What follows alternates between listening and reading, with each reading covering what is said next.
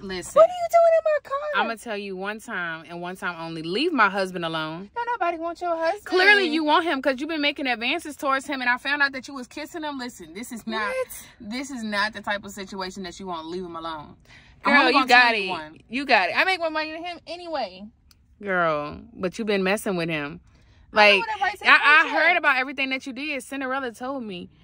You should be Leave him thankful alone. I for don't- me. I put money on the table for you. I don't need you to put money on the table for me because he can leave this job at any day. All I'm telling you is literally leave him alone. I'm only gonna tell you one time. Like I'm only gonna tell you one time.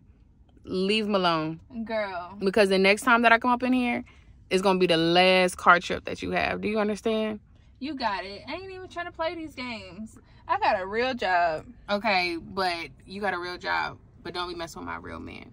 Leave him alone. He does not want you. He's not interested. Whatever y'all had when we was going through our times, that it, it's nothing. It means nothing. So y'all, wh- whatever that was, he don't want you. Okay, okay, honey. Yeah. Whatever. Just get out of my car. And I'll get out of here when I- I- problem. I mean, I can roll up wherever I want to roll up because as soon as you start messing with my things, whether it's my husband, my kid, any of that, just know that it's a wrap. So I'm gonna tell you one more time, and this gonna be the last time. Leave my husband alone. Girl, don't nobody want Don't don't leave my husband alone. If it's the next time, I'm calling the- the police. And the police gonna do what? Because like I said, it's not gonna be a next time. This is the one time that I'm gonna say this. Leave him alone. Don't mess with him. Don't think about him. Girl, you crazy. You crazy for literally. But like I said, whatever you thought y'all had, literally, it, it wasn't what you thought.